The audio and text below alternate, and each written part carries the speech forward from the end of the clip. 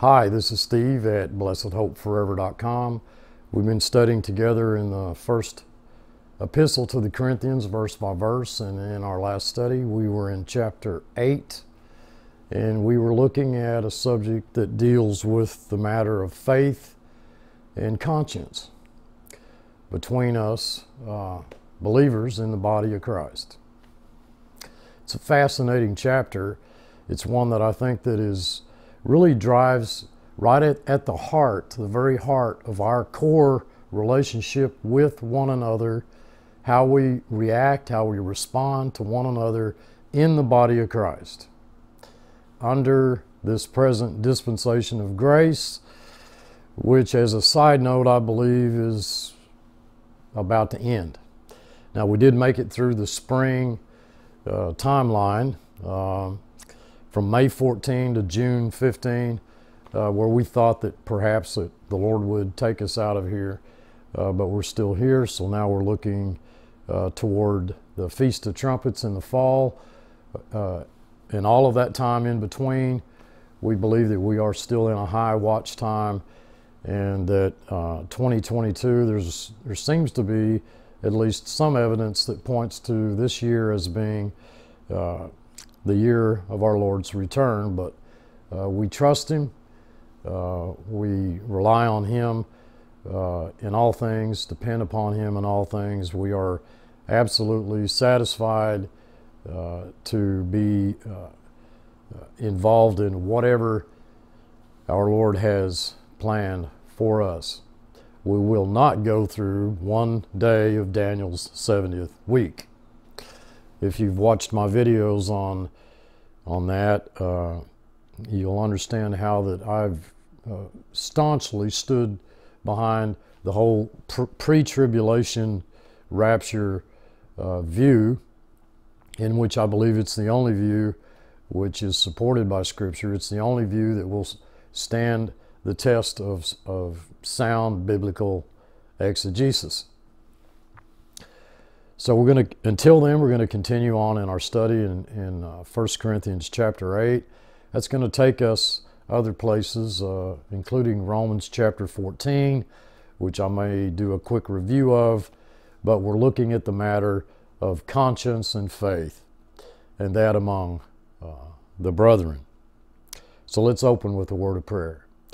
Gracious Heavenly Father, I just come into your presence by means of our Lord Jesus Christ and in the Holy Spirit.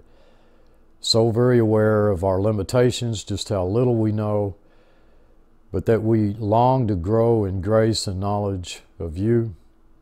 I just ask that you would seal to our hearts that which is truth, filtering out all the foolishness.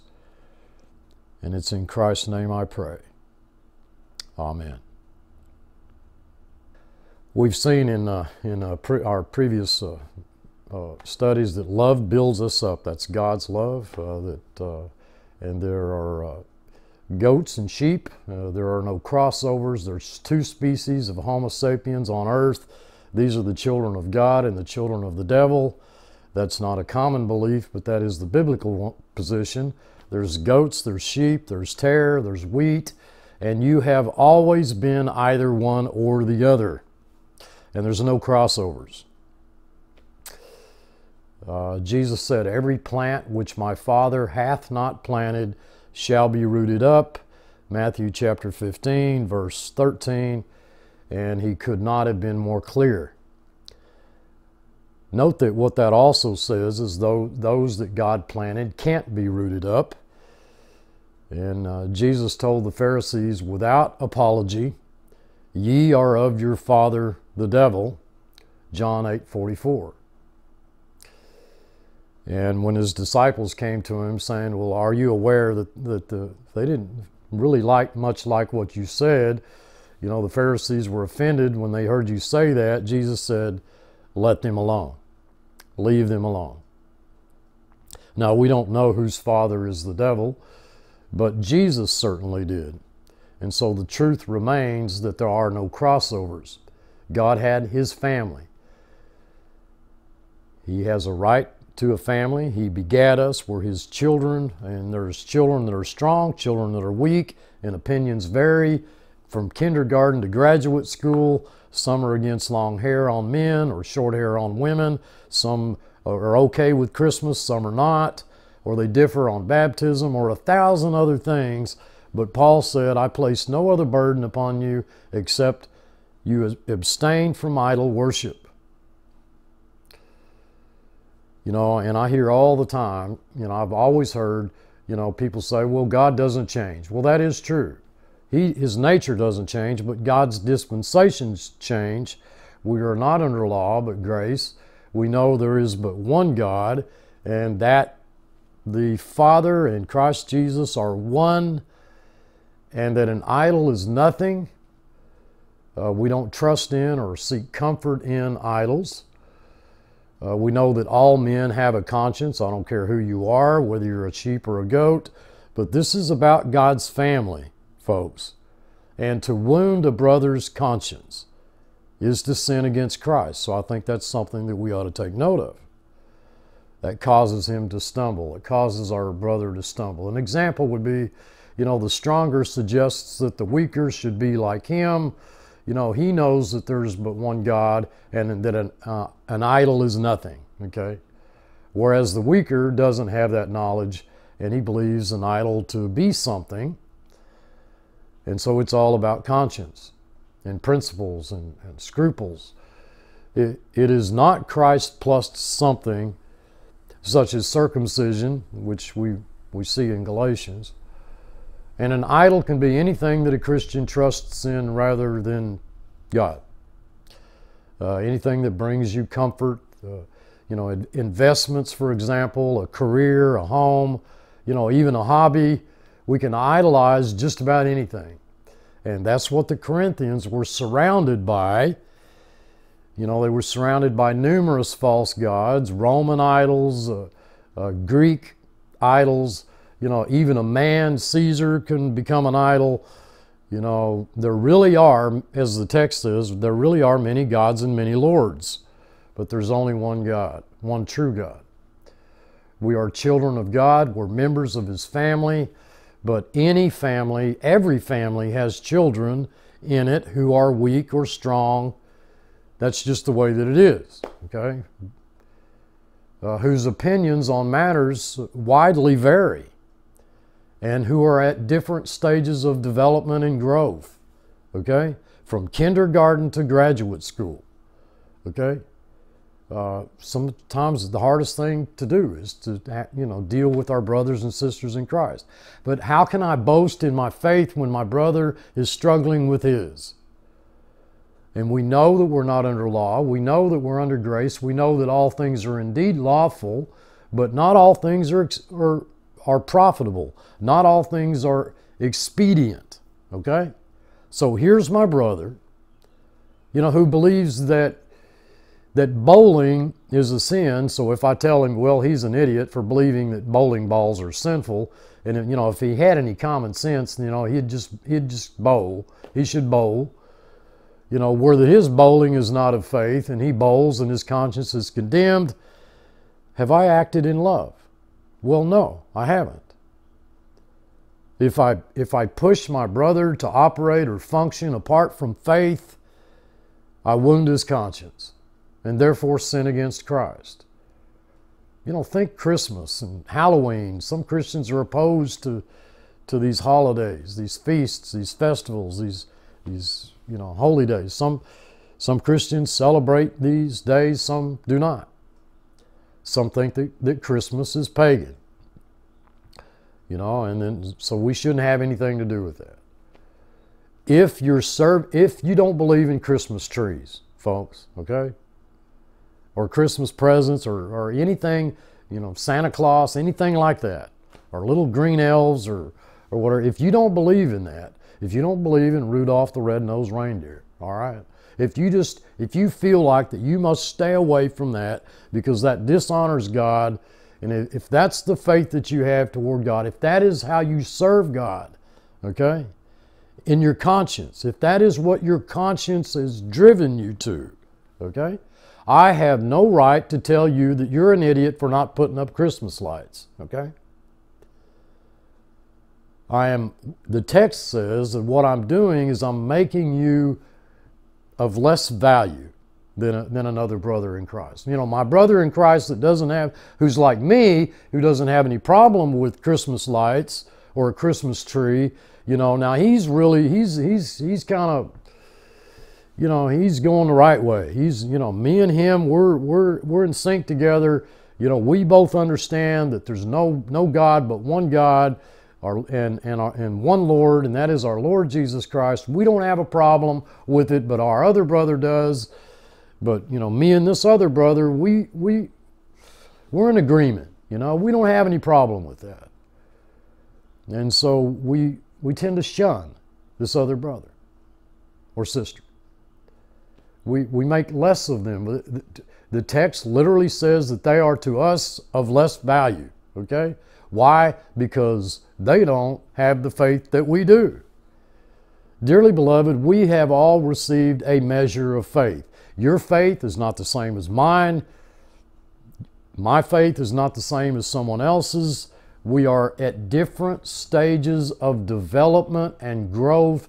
Folks, what about the Christian who's what about the Christian who was just born again yesterday? How do you how do you how does that Christian have fellowship with a brother in Christ who's been in, in the body of Christ, who's been a believer, who's trusted in the Lord for 50, 60, 70 years? How do these two get along? How? Well, it's simple. We don't have ex- those expectations of one another. We act in love, okay? Not judgment. Not judgment. The text says that the one that is looking at me is having the faith to eat all things when they don't have the faith to eat all things.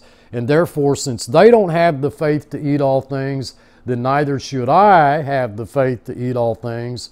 The text says they are judging me, krino, okay, is the word in the Greek, making a judgment against me, okay? And they're not to do that. Likewise, I am not to be so condescending toward my brother, not to look at my brother as having uh, less value than another brother because he doesn't have the faith, faith to eat all things as I do. Okay? It is about conscience. The Lord is concerned with our conscience. It's for conscience sake. We can ruin a brother destroy a brother says is what the text says but we can't we can't we're not going to send a brother to hell okay by putting a stumbling block in his in his way in his path. The word there means ruin okay spiritual ruin. We can actually ruin a brother ruin his conscience defile his conscience cause him to become distraught okay by insisting or demanding that he have the same faith that we have. Well, it's okay for me to bowl, so it's okay for you to bowl. And if you have this thing against bowling balls, then you're just, you're an idiot. Okay?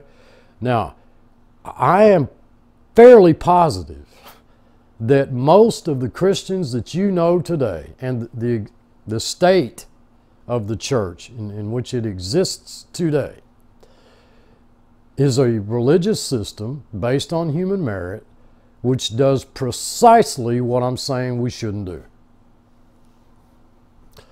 We walk alongside one another and we judge one another in those terms. And we're not to do that. This is what our text is saying. I want to quickly read through Romans chapter 14. I know it's uh, it's a, it's a little time consuming here, and it's a and it's just a brief, a quick overview here, but I think it will help shed some light on our present study in the eighth chapter of 1 Corinthians. Him that is weak in the faith receive ye, but not to doubtful disp- disputations. For one believes that he may eat all things, another who is weak eats herbs. Let not him that eats despise him that eats not, and let not him which eateth not judge him that eateth, for God hath received him. Who art thou that judgest another man's servant? To his own master he stands or he falls. Yea, he shall be holden up, for God is able to make him stand. One man esteems one day above another, another esteems every day alike. Let every man be fully persuaded in his own mind. He that regards the day regards it unto the Lord, and he that regards not the day to the Lord, he doth not regard it. He that eats, eateth to the Lord, for he giveth God thanks. And he that eateth not to the Lord, he eateth not and giveth God thanks. For none of us lives to himself, and no man dies to himself. For whether we live, we live unto the Lord, and whether we die, we die unto the Lord. Whether we live, therefore, or die, we are the Lord's. For to this end Christ both died and rose and revived, that he might be Lord both of the dead and the living. But why dost thou judge thy brother? Or why dost thou set it not thy brother? For we shall all stand before the judgment seat of Christ, as it is written, As I live, says the Lord, every knee shall bow to me, and every tongue shall confess to God. So then every one of us shall give account of himself to God. Let us not therefore judge one another any more, but judge this rather that no man put a stumbling block or an occasion to fall in his brother's way. I know and am persuaded by the Lord Jesus that there is nothing unclean of itself, but to him that esteems anything to be unclean, to him it is unclean. But if thy brother be grieved with thy meat, now walkest thou not charitably. Destroy not him with thy meat for whom Christ died. Let not then your good be evil spoken of, for the kingdom of God is not meat and drink but righteousness and peace and joy in the Holy Spirit. For he that in these things serves Christ is acceptable to God and approved of men. Let us therefore follow after the things which make for peace and things wherewith one may edify another. For meat destroy not the work of God. All things indeed are pure, but it is evil for that man who eats with offense. It is good neither to eat flesh, nor to drink wine, nor anything whereby thy brother stumbles, or is offended, or is made weak. Hast thou faith? Have it to thyself before God. Happy is he, blessed is he, that condemns not himself in that thing which he allows. And he that doubteth is damned if he eat, because he eateth not of faith. For whatsoever is not of faith is sin. Whatsoever is not of faith is sin. You know, Christians, uh, I think, have for the longest time, maybe probably since the very beginning, have, I think, for the in general, in, in the main, for the most part, have just a, uh, the whole, a whole totally wrong concept of sin itself, of what sin is. Whatsoever is not of faith is sin most people think that to you know to sin you have to perform some action you have to to actively get up and, and walk over here and you have to, to steal something or, or you have to lie you have to cheat you have to kill murder uh, i don't know whatever is on that list long list of, of garbage you've got to do something in order to, to sin sinning is well, just doing anything that God hates, and He hates a whole lot of stuff. So there's a whole lot of stuff you can do that's that's that's sin. Now that may be true in a particular sense, but in the most strictest sense, whatsoever is not of faith is sin. If you are not believing and trusting God, you're sinning. You can be sitting at home on the couch, on the sofa, with your arms crossed, staring off into into nothing, okay? And if you're not trusting God, you're sinning. I want you to try, if you can, to, to wrap your mind around the fact that God considers unfaithfulness, not tr- that is, not trusting Him, he, he actually calls it sin. Whatsoever is not of faith is sin.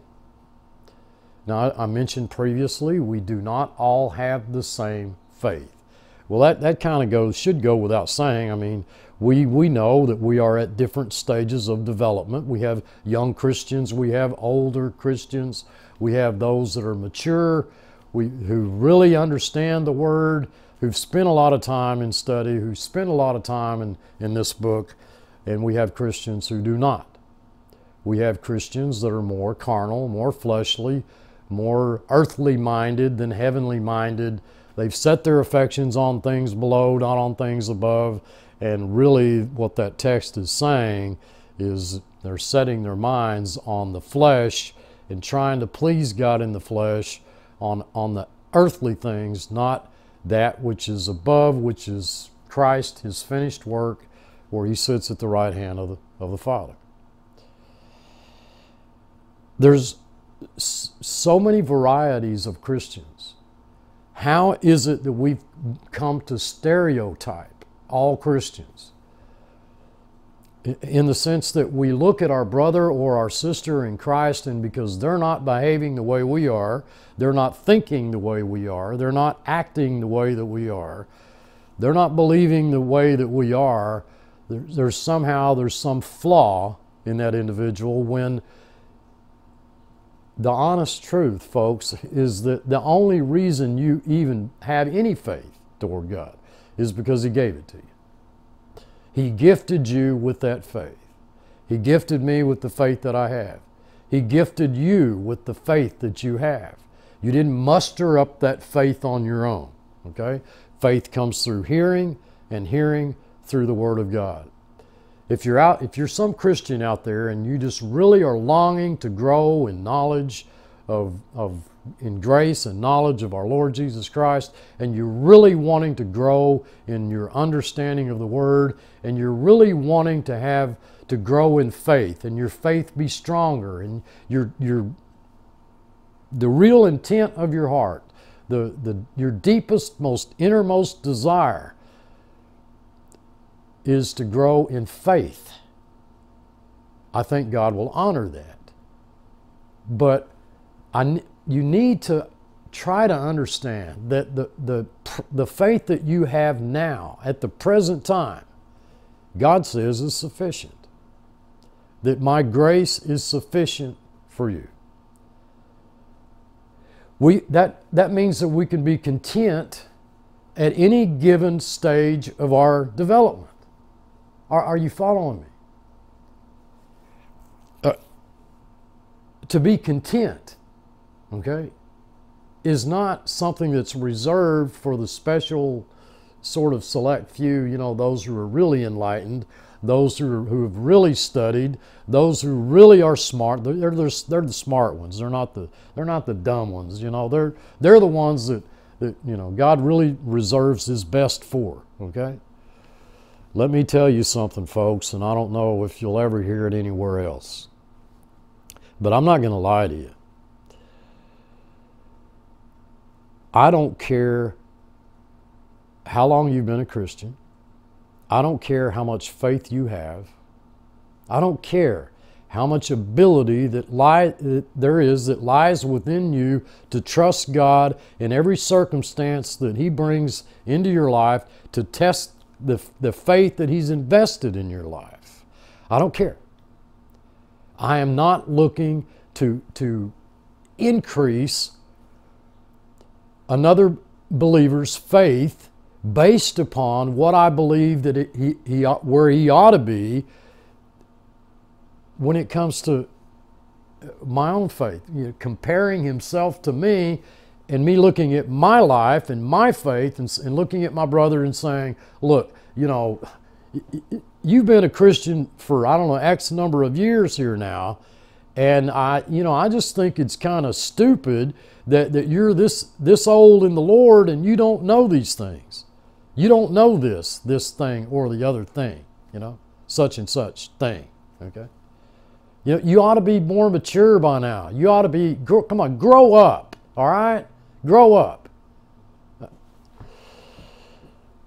You know, it's I, I didn't uh, I didn't have a come out of a huge family, but I did have some you know brothers and sisters, and, and they were younger than me.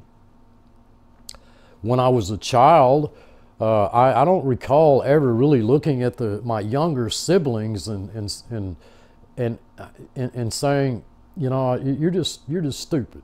Okay, you know, I mean, you know, you ought to you ought to have the, the mentality, you ought to have the mindset, you ought to have what I have as at the age of 15. You know, here I'm 15 years old. Okay, I'm I'm a freshman or a junior in high school, and you know, you're still in in grade school. Okay, and you ought to be where I'm at. Are you getting this? Folks, listen, dearly beloved, God has His children who are in kindergarten. All right? Now, you may not like that, but there was a time in which you were in kindergarten as well.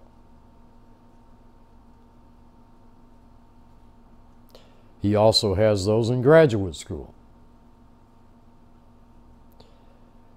It's when the one in kindergarten looks at the one in, in graduate school and judges him and, and says, Well, you know, you're basically in, in a in a very real sense, what he's saying is that, you know, look, your faith is just a little too strong, okay? I mean, your faith, you actually have this faith that I don't have, and this faith is going to lead you down the wrong path.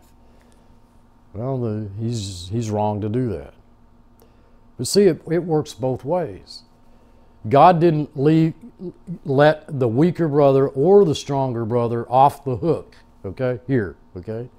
There's enough blame to go around. I don't care if you're the weaker brother, I don't care if you're the stronger brother. There's the admonition toward us as believers in the body of Christ who have been graced with given grace upon grace. And if you've followed my, my videos for any length of time and you've you've really followed us through these verse by verse studies through these different various books of the New Testament, uh, you've seen that we have received grace upon grace. That, that grace just superabounds in our lives. God has nothing against you, okay? He has nothing against my brother or my sister in Christ. So why should we have? Why should we have? Why do we look upon one another and judge one another based upon our own experience, our own faith, our own dedication, our own devotion? Okay? Why can't I accept a weaker brother in faith and in understanding that, that we all belong to Him, that we are all members of His body, that He died in our place, that this is my brother for whom Christ died? Okay? He's not been left out in the wilderness. He's not been forgotten. He's not lagging behind. He's not coming behind in any spiritual gift or grace, as I pointed out in a, in, in a previous text that we looked at. Okay? Not, not a one of you is lacking. Not a one of you is coming. There, I have not received anything from God that you haven't received. And likewise, you haven't received anything from God that I have not received. And so, whatsoever is not of faith is sin. That's the hard, cold reality of it. You don't have to be doing anything but doubting God to be sinning. And here's our brother who doesn't have all faith. And here's us. We'd like to think that we have all faith. I think sometimes we'd like to believe that we have all faith. We don't have all faith. Not a one of us has all faith. Not a one of us has reached that, that peak, that pinnacle that, of success to where that we can say with all confidence that we've arrived, we've gotten ahead, I guess we've gotten ahead of, we've gotten there ahead of everybody else. You know, we just made it, man. I mean, you know, and, and we picked us ourselves up by our own bootstraps, and man, we, we've really made it here's our brother who's lagging behind, at least in our in our sort of twisted way of thinking. He's lagging behind. He's not really lagging behind, but we think he is. And whatsoever is not of faith is sin. It is absolutely true. I keep I, I know I keep repeating this. I'm I'm really blowing this up pushing this, exaggerating this point for you to see this because it is so vitally important to understanding what we're looking at I don't think that there's a, a, better example to try to help explain this. Whatsoever is not of faith is sin. So that brother, including me, all the brethren, all the brethren, every brother, every sister in the body of Christ is sinning because they don't have all faith, and faith is a gift from God. It comes from God. It's not something that we muster up on our own.